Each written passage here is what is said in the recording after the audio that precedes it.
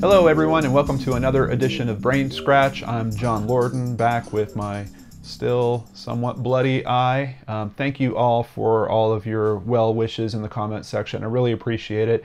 And just know it does not hurt whatsoever. It just looks really weird. but thank you for sticking with me. Um, and a big shout out to researcher Blue Meanie. This is Blue Meanie's third story that she's researched for me. Um, she does a really good job. She actually did such a good job on this case that I don't think I can cover everything she sent me. So I'm going to start a new section on brainscratchers.com. If you go there today, you'll see a selection on the left called Deep Dive Files. And in that deep dive section, you will find essentially all of her raw information that she sent to me to make this episode, which includes a ton more links than we're going to be able to review, um, a lot more theory, and other things you can dive into. So hopefully, you'll head over to brainscratchers.com and check that out. Um, today, we are covering the murder of Adam Walsh. You are probably familiar with Adam's father, that is John Walsh of America's Most Wanted. Um, essentially, what happened to his son uh, helped push him into a different career path, and he has done a bunch of amazing work uh, on that show and several other shows since. Uh, and also in terms of creating new laws, creating new systems for trying to uh, keep children safe. And quite honestly, um, I don't know if there would be a brain scratch or a searchlight without America's Most Wanted. Um, I, I, used to watch it a lot um, back when it was on Fox, and I just always appreciated that he was trying to help other people, and that's definitely something that I think comes through uh, in Brain Scratch. So, if John Walsh happens to see this someday, thank you so much for inspiring uh, the rest of us in ways that maybe you're not aware of. So that being said, let's jump into the murder of Adam Walsh. Adam John Walsh was an American boy who was abducted from a Sears department store at the Hollywood Mall in Hollywood, Florida on July 27, 1981, and later found murdered and decapitated near Abacoa, Florida. I don't know if that's Abacoa or Abacoa. Um, his death earned national publicity. His story was made into the 1983 television film Adam, seen by 38 million people in its original airing. That is insane. That is a huge, huge number. 38 million. I can't believe it. Uh, his father, John Walsh, became an advocate for victims of violent crimes and the host of the television program America's Most Wanted. One additional piece of information about the Adam movie uh, that I wanted to cover here. The three broadcasts of Adam were followed by pictures and descriptions of missing children as of each of the respective broadcasts. A hotline was also active to take calls regarding the children. This was ultimately credited with finding 13 of 55 children from the 1983 broadcast, including future rapper Bizzy Bone. Uh, Bizzy Bone later did a song basically uh, dedicated to Adam Walsh. Uh, and 19 of 51 children shown in the 1984 broadcast. As of two days after the 1985 showing, 3,522 calls had been made to the hotline, and 5 of 54 featured missing children had already been found. So, as you can see, just the creation of this movie and the extremely wise decision to do something good with art by adding these missing people at the end of the film really affected the world in a pretty positive way. That's a lot of cases that got solved by that, which is very cool. So we're going to jump back to the timeline that Blue Meanie sent me. Uh, November 14th, 1974, John and Reve Walsh welcomed their first boy, a boy they named Adam after his grandfather, John Walsh Sr.'s nickname. July 27th, 1981, Reve and her son Adam, now six, make a trip to Sears in Hollywood, Florida. Reve goes to look for a lamp that was on sale. Adam stayed behind at a display for the new Atari game system where older children are playing the games. When Reve returned minutes later, Adam was gone. Reve searched to no avail. They page for Adam, but he never comes. John Walsh is called to the scene along with police. Over the next few weeks, John and Reve made several televised and published appeals for Adam's safe return, offering $5,000. August 10th, 1981. 16 days after he went missing, a severed head is identified as Adam Walsh. It was 120 miles from where he was taken. His torso is never found. So, for a bit more detail, we're going to jump back over to the article. Um, here we see basically the same information. Uh, it was an Atari 2600 system that was on display, and um, a store manager informed her that a scuffle had broken out over whose turn it was at the kiosk, and a security guard demanded that they leave the store. And I've seen some different accounts about what happened here, but um, I've seen a few different places where they talk about this. I've even seen one mention of a videotape of the boys leaving the store that was made available. And apparently, the security guard was very young. He was uh, 17 years old. The security guard asked the older ones if their parents were there, and they said that they were not. It was later conjectured by Adam's parents that he was too shy to speak to the security guard, who presumed that he was in the company of the other boys and put him out the same door. Based upon Reve's claim that he was in the store with her, it was assumed that he was then left alone near an exit that was unfamiliar to him. Adam's severed head was found by two fishermen on a Vero Beach canal.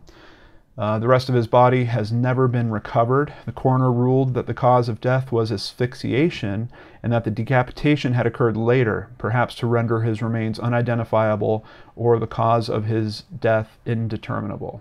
Uh, pretty interesting twist here. Adam's father, John Walsh, was considered by authorities as a prime suspect as the police investigation started to become exhausted. After about a week, he was absolved of any foul play following a highly emotional press statement that was televised nationally. I believe they also gave him a polygraph test, um, so that cleared up John. And, you know, I don't think it's necessarily a misstep on police's part to look in that direction. I think in a lot of these cases, um, it might be a family member. So uh, it kind of makes sense, but it's a part of the story you don't hear too often, so I wanted to, to share that with you. So the major culprit here is Ottis Toole. Uh, he was an American drifter who was convicted of six counts of murder. Um, this is a pretty sad story, just even right from the start. Um, Ottis Toole seems to have some uh, mental disorder. Uh, I believe his IQ is only 75. Um, he went through an extremely rough childhood, um, and it seems like that abuse is kind of just what built up into um, this adult that got together with another man who was a, uh, a murderer, and they kind of went on a spree together.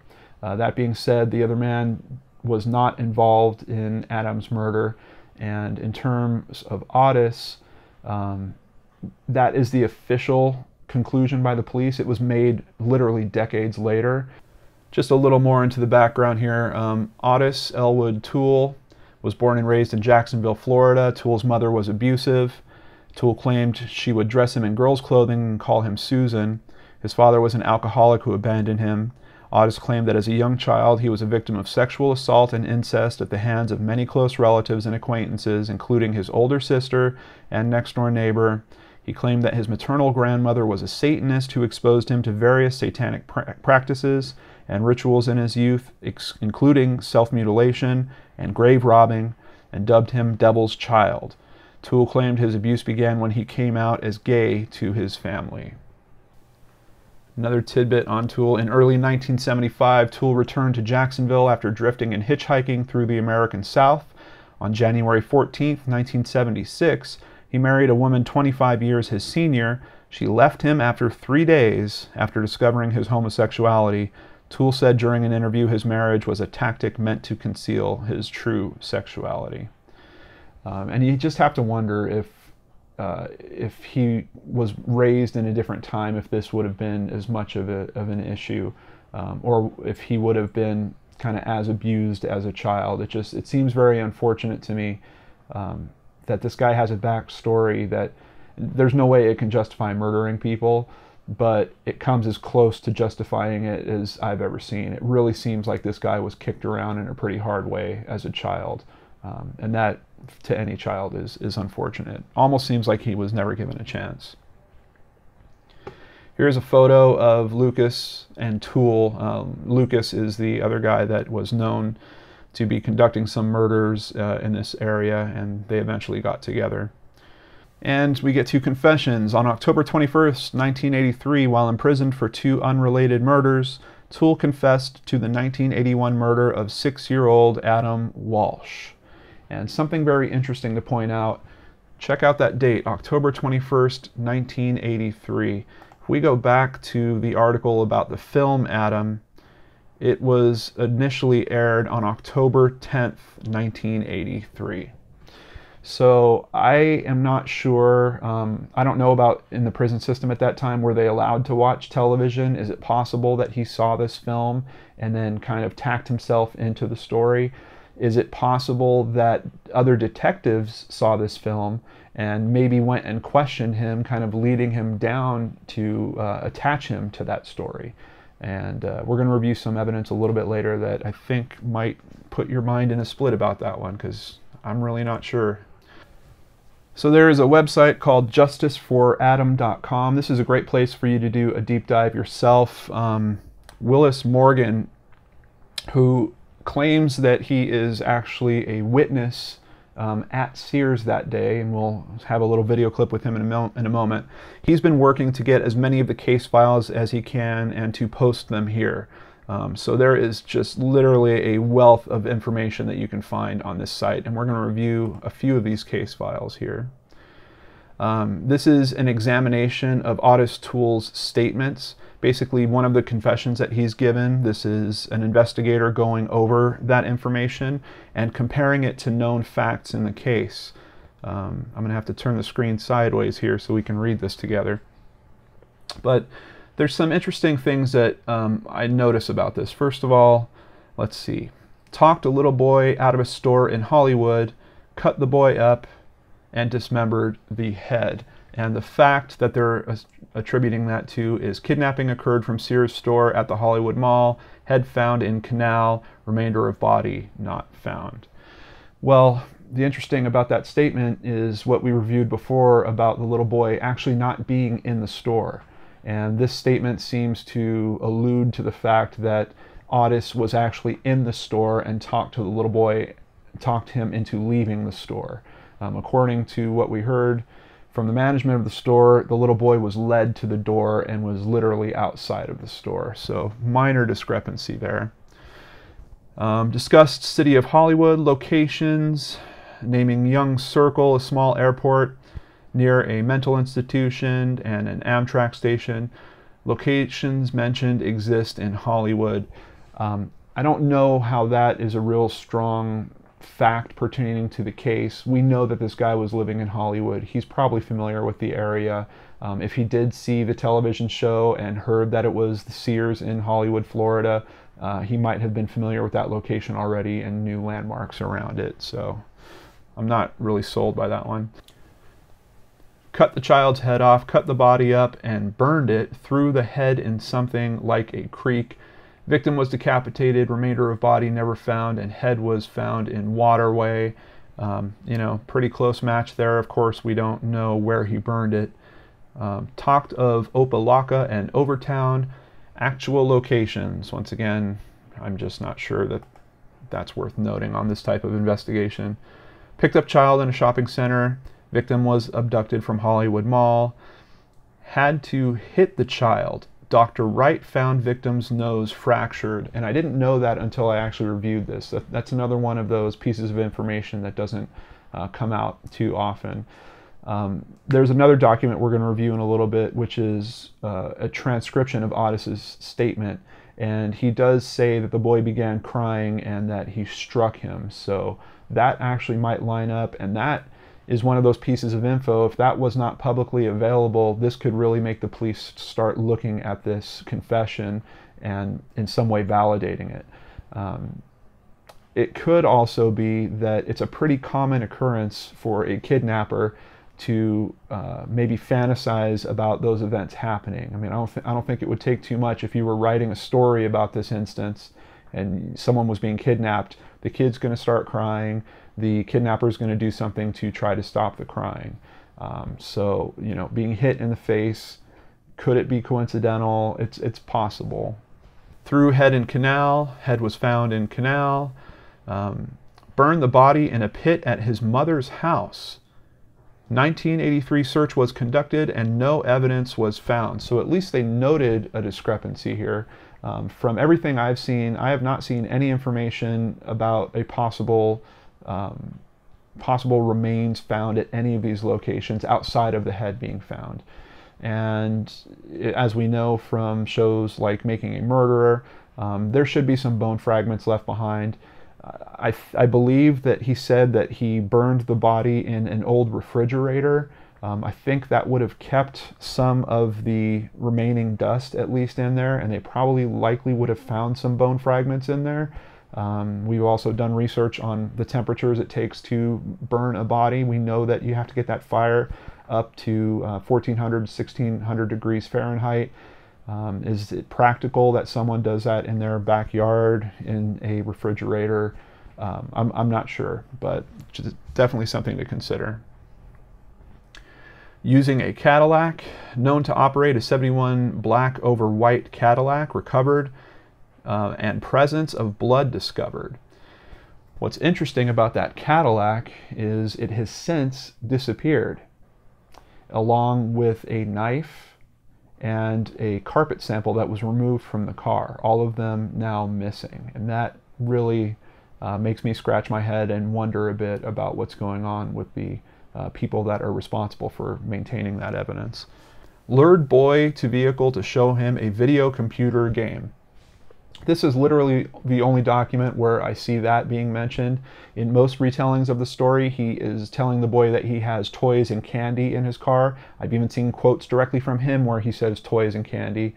Um, so I'm not sure where this video game uh, idea came from, although if see this this is where the story starts getting weird. If he found the boy outside, he wouldn't have known that the boy was there to watch the Atari game, so he wouldn't have had that in his mind to say, oh, well, I can obviously lure this kid away because he's interested in video games.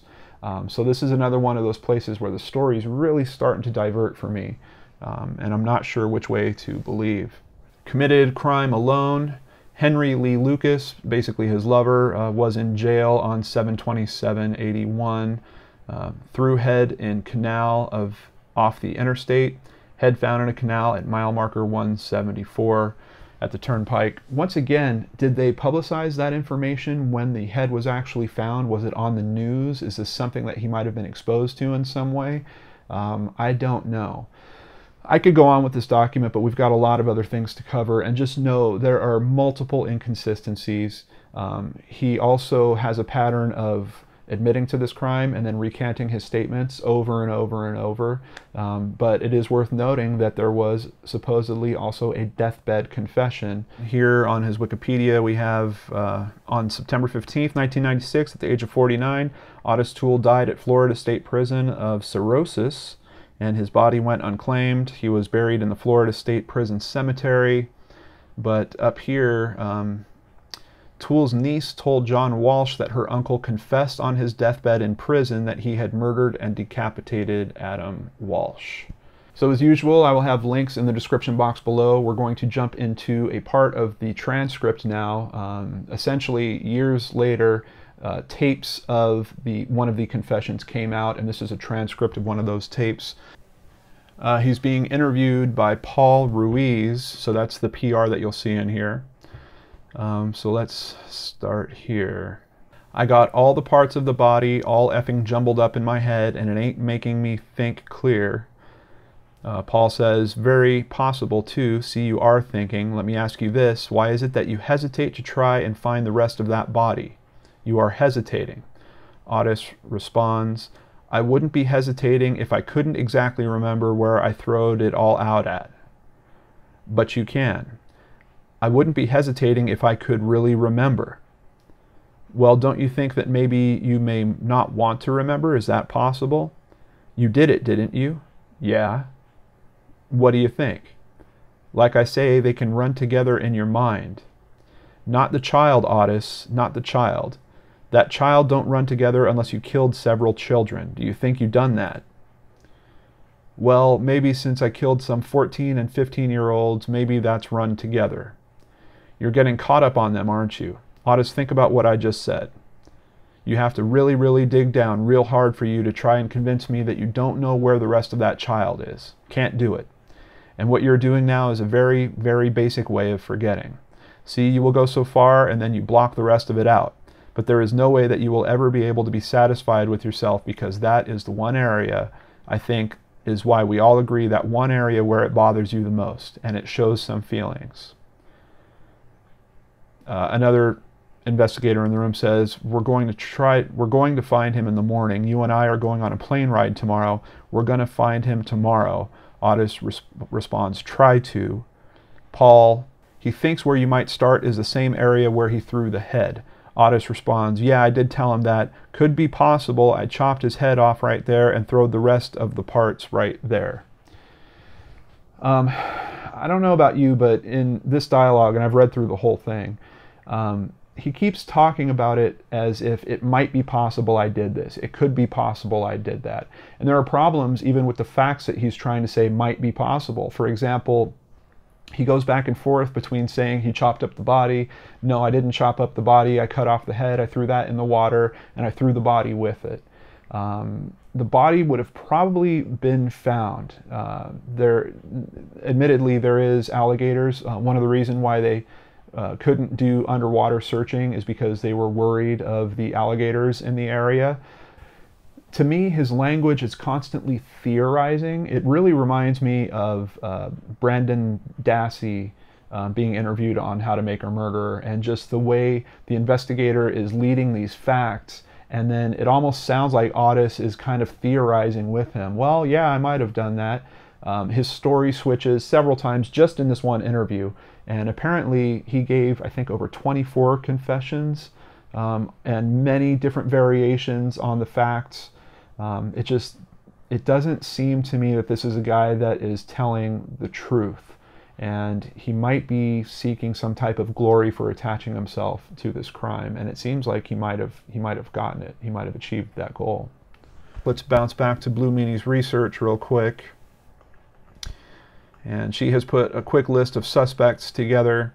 Um, they really looked in all directions. Like we mentioned, they looked at John, they looked at his wife, Reve, um, she was also given a polygraph. James Campbell, a family friend who lived with the Walshes for four years, he was given polygraphs. Alejandro Marcos, also given polygraph. And then Jeffrey Dahmer. Well, yes, as a matter of fact, let's watch a little video clip. This is from CNN. Two years later, a miserable drifter named Ottis Toole twice confessed to killing Adam and twice bragged he made it up. That Adam Walsh case isn't, uh, it ain't true. What isn't true? Tell me that. I didn't, I didn't do that case. Toole was never charged in Adam's murder, and for 26 years, the search has gone on for answers. I just spent a lot of time going through and seeing, looking for mistakes, looking for clues. Crime reporter Art Harris has spent several years digging into the Adam Walsh case, and now has come to a conclusion. Your conclusion who killed Adam Walsh? I believe Adam Walsh's killer is Jeffrey Dahmer. Jeffrey Dahmer, one of the most infamous serial killers in American history. So that was Arthur J. Harris, who is an author and has done a bunch of research on this case. I've read a section of uh, one of his books. And let's roll to another video clip. This is from Fox News, and we can see uh, Arthur J. Harris here. Um, also, this is the guy that is responsible. This is uh, Willis Morgan, the guy that made justice for Adam. This is Willis down here. And both of these guys supposedly saw Jeffrey Dahmer at the Sears that day. Uh, let's hear what they had to say for themselves here. Let me bring in those gentlemen. We have Willis Morgan again joining us and Bill Bowen. Willis, I'll start with you. Were you contacted and what did you see that makes you believe that Adam was murdered by Jeffrey Dahmer? Okay, first, was I contacted? Uh, what time are you talking about? After 92? When Detective Smith took over the case? Yes. No, he never called me. I called him one time, and I tried to tell him what happened at the mall, and he would dismiss me with, yeah, right, when I tried to tell him. And even the first time he said, yeah, right, I tried to continue telling him what happened, and I get to where Jeffrey Dahmer was standing over me with this demonic look in his eyes, and I'm starting to get nervous, and he goes, ah, you're right, you're scared of him. All right, but let me, I only have 30 seconds left here, okay. unfortunately. Let me bring in Bill. Bill, what did you see? Well, I got out of my car at the Sears store and I saw a man holding a little boy up in the air screaming, I don't want to go, I'm not going. And this gentleman threw the little boy by one arm into the van, the blue van that I saw, and sped off. And you believe that little boy was Adam Walsh?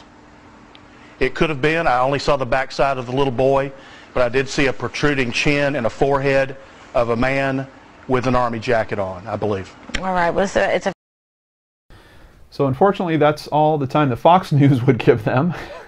Seemed like they only had maybe not even a minute each. And I think you can see why people are skeptical. I mean, you have one guy that's trying to tell a story that Jeffrey Dahmer at one point is looking over at him, uh, looking down at him with some kind of demonic expression. Um, when I go researching these things and when I listen to people retell stories about true events, when I hear things that are obviously fictionalized um, or sound like they're fictionalized as if the person is writing a, a novel, I know that that's not how memories are typically recanted, and it really sets off alarms for me too. So, um, unfortunately, in his case, I think if if he did see what he's seeing, he's overstating things, and it's making people stop and not consider what he has to say. Um, the other gentleman admits he didn't even see this guy's face; he saw a chin and a, and a jacket. And is that enough to make a positive identification for Jeffrey Dahmer when Jeffrey Dahmer was not even known in the media for another decade? And then all of a sudden you see this guy on the news and you're like, oh, that's the chin that I saw? I really don't know. Also worth noting, two of these guys on this image right here are authors making money specifically off their stories. So um, that's another thing that you have to wonder when people are being motivated by financial gains.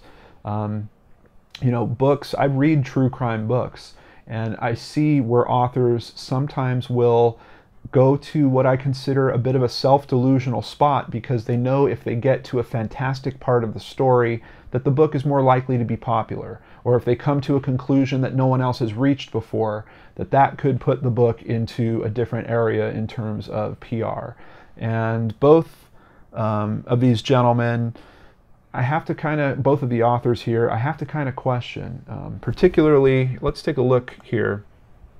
This is from The Unsolved Murder of Adam Walsh, Jeffrey, Dahmer, Jeffrey Dahmer's Dirty Secret, written by Arthur J. Harris.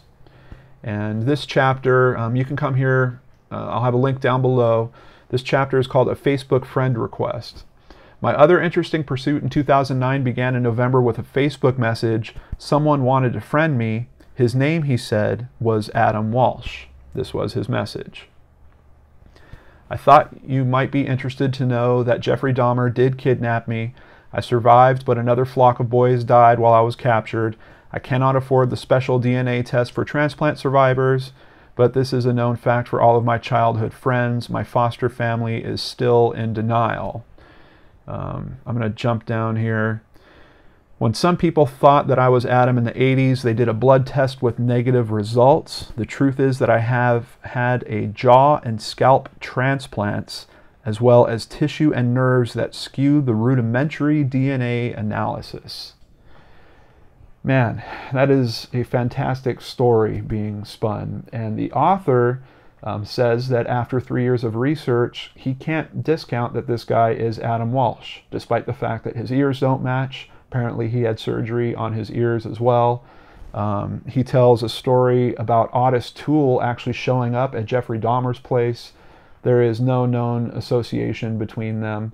Um, it was pretty hard for me to read this account and to believe that this is really Adam Walsh. A full scalp transplant, I haven't even heard of.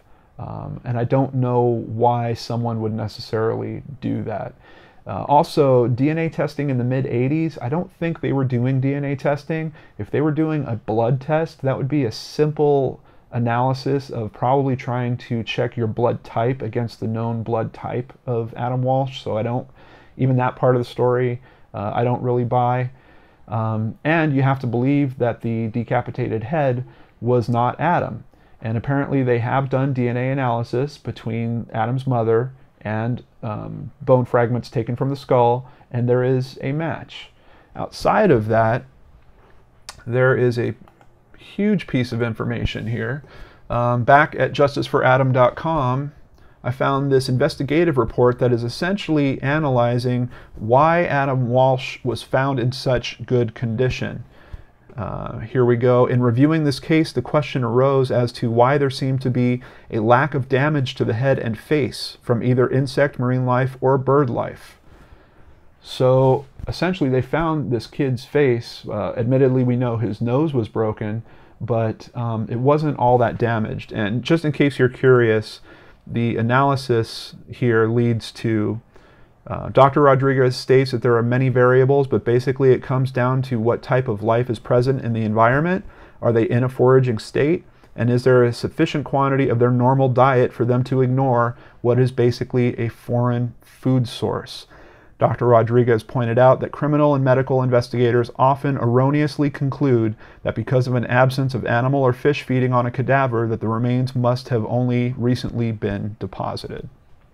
So, we know that his face was found in a state where he was likely still recognizable. Um, they do mention that there's skin slippage, but they don't mention any other trauma um, to his face. So, pretty interesting. And if that wasn't enough, here we have a link um, for a blog on the kidnapping and murder of Adam Walsh. In 2011, Reve Walsh sat down with Nightline ABC to discuss a new book, Bringing Adam Home, which tells the story of her son's case and the tragedy that they went through.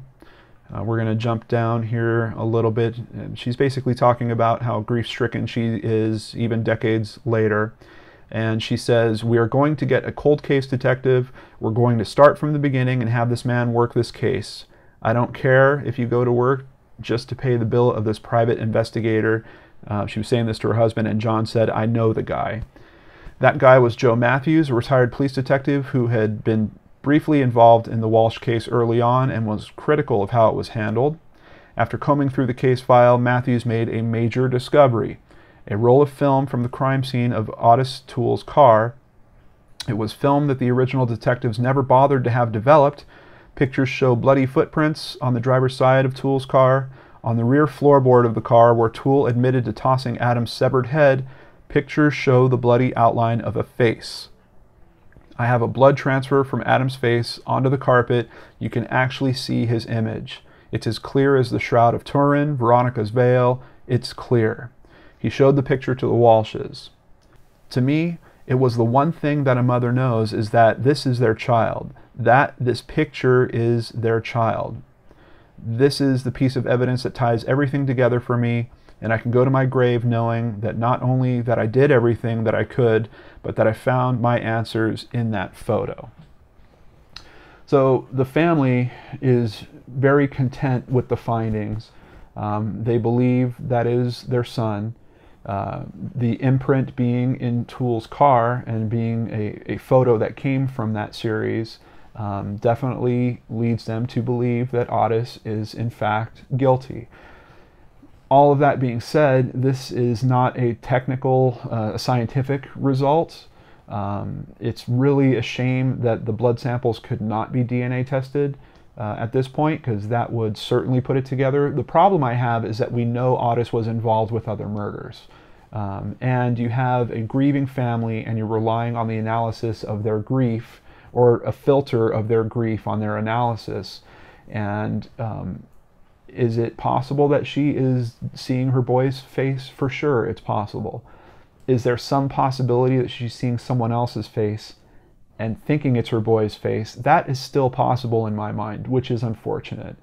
And um, I think, at least for them to move forward and have that belief, um, is probably the healthiest thing that they, that they could do. Um, all of that being said, the detectives in this case, um, the police that are involved with this case. I just can't believe that this evidence went missing and they can't do DNA analysis to firmly conclude what happened here. Um, that is the biggest crime outside of this actual murder that I see around this case. As a matter of fact, it makes me wonder a bit how did all that evidence go missing or why did that evidence go missing? Is there some reason why that evidence was uh, removed purposefully? Uh, for example, if DNA testing all of a sudden was becoming popular and someone in charge knew that that case would not hold up to that scrutiny and ordered that information to be destroyed, um, something along those lines, I can't quite cut that out of my mind. Um, just to touch on it, I know I kind of streamed away from the guy that's claiming to be Adam Walsh on Facebook. Um, I continued reading that book from there, and it went into an analysis about the dental imprints and while there's some controversy around it. Um, you know, the dental records showed that Adam had a filling in one particular tooth. The author um, got information from the coroner's office, and there's some debate if that information lines up or, or not. Um, I did not find it very compelling. I find that the author is spending a lot of time trying to force the point that the, the tooth is not a match, and there are pretty reasonable assumptions that could be made about how that information was misconveyed or seen by different experts in a different way. Um, I personally did not find it very compelling at all. But just to say it's there, I just wanted to share that with you. And finally, I don't think that you could tell the story of Adam without reviewing the aftermath. Um, there were many amazing things that happened from this. Uh, following the crime, the Walsh family founded the Adam Walsh Child Resource Center. Um, the Walsh family organized a political campaign to help missing and exploited children. Uh, this led to the creation of the Missing Children Act of 1982 and the Missing Children's Assistance Act of 1984. Today, Walsh continues to testify before Congress and state legislatures on crime, missing children, and victims' rights issues. His latest efforts include lobbying for a constitutional amendment for victim, victims' rights. The Adam Walsh Child Protection and Safety Act was signed into law by George W. Bush on July 27, 2006. Um, by the late 80s, many malls, department stores, supermarkets, and other such retailers have adopted what is known as a Code Adam, a movement first made by Walmart stores. A code Adam is announced when a child is missing in a store, or if a child is found by a store employee or customer. If the child is lost or missing, all doors will be locked and a store employee is posted at every exit while a description of the child is generally broadcast over the intercom system. Code Adam is a term that has become synonymous with the missing child and is a predecessor to an Amber Alert, which serves as a system of broadcast driven community notification. So, you can see, um, if nothing else, when I look at this story, I'm amazed at how the energy of grief wasn't allowed to fester in a negative way, particularly for John Walsh. Um, he was able to funnel all of that frustration and energy into a, a bunch of positive things that helped make this world a bit of a better place. And that being said, you know, John Walsh is a bit controversial. He's, you know, um, he says things here or there that, that some people might not agree with. Even his presentation on America's Most Wanted, he was being very aggressive about the um, criminals he was going after. But you can't deny the results of all that focus and energy. Um, I believe they captured well over a thousand, I think it was about 1,600 if I'm remembering correctly uh, criminals using America's Most Wanted. Many, many children were found that were missing um, using that show. It was just an amazing force, and um, I'm happy that there was some type of positive outcome from all this. All that being said, is this case truly solved? Jeffrey Dahmer, um, I, I believe he likely would have admitted to that crime, and it didn't, while it fit his MO in terms of the, decap- the decapitation aspect, it didn't fit his MO in terms of the age. Um, he was, admittedly, he would go for young men, but they were pretty much men. I believe the earliest victim he had might have been 14 or 15. This is considerably different when you're talking about a six year old. Um, and Ottis, I just can't get over his own testimony. It just, it really rings back. It sends me back to watching that footage of Brendan Dassey being interviewed and how the investigator is leading all this information and he's just kind of pontificating about, well, yeah, I could have done that. Yeah, I can't really remember. I think it's here, I think it's there. Meanwhile, the body was never found. So I'm not totally convinced that Ottis um, is the culprit. I'm mostly convinced, but there's still a big gap for me before I cross that finish line and say, yep, they've definitely found the guy. That being said, the case is closed as of 2008, um, which I think was another good step for the family because they were finally able to properly bury the remains of Adam. Um, which can you imagine? I mean, you're dealing with this. I know that they had a memorial for him back in the 80s, but knowing that his remains are sitting in some lab somewhere for decades. Um, so even if it wasn't Ottis, I think that Ottis kind of taking the blame for it might have been a few good steps for the family. Um, and once again, huge thank you to Blue Meanie. She did such a good job on this. And if you're interested in seeing all of the raw information she sent to me, which I, I can tell you there's a ton more detail than we were able to cover today, head to brainscratchers.com and check it out for yourself. Thank you for joining me on this one. I hope you have a wonderful weekend, and I'll catch you next time on the Geek and Dorks channel. Take care.